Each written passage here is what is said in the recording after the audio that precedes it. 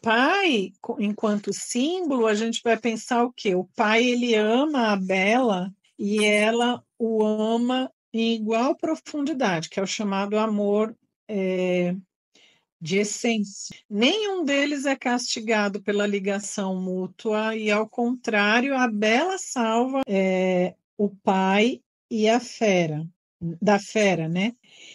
Quando ela transfere a ligação com o pai para a fera, ela, ao invés de ser. É, de, ah, vou destruir esse amor com meu pai. Eu preciso destruir. Se fosse um mecanismo de defesa de destruição, de tanto tentar fazer isso, ela ia virar a louca compulsiva por limpeza. Um exemplo.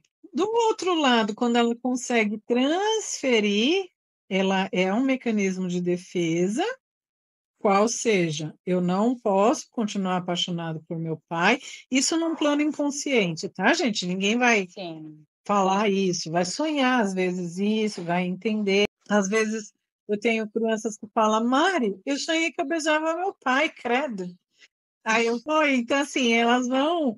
É, então a, a, possibilidade onírica de, de respostas vem, e aí justamente a gente conta esse conto como objeto transicional, se a gente pensar no sábio, a gente conta o conto para essa criança se tranquilizar, entendeu? É, mais tarde você vai encontrar a sua fera, e é por isso que algumas pedem para repetir, repetir, repetir.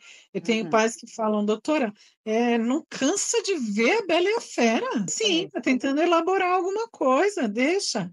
A repetição é possível, por quê? Por que, que precisa é, teve um pai outro dia que falou: Nossa, o meu filho só gosta da Lero. Ai, aquele unicórniozinho.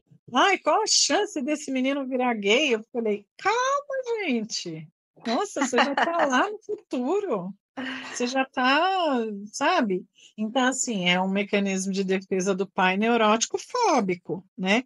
Enquanto a criança está num mecanismo de defesa de leveza, unicórnio, é, é, é a febrezinha do momento para ele e deixa, né? E aí toda a história em que o pai faz esse é, dá alguma coisa, oferece alguma coisa, é, vai sugerindo uma solução para esse Édipo, né? Que é diferente do pai que, por exemplo, dá de ombros, ah, tô nem aí. Quando a criança tem esse pai que dá de ombros, não tô nem aí para você, ela também vai elaborando que às vezes é a mãe que faz, que o pai, por exemplo, é inexistente na vida de uma criança. Mas ela, ao ler, né, ela vê que a mãe não existe ali no conto e que o pai é que é o bonzinho, vamos chamar.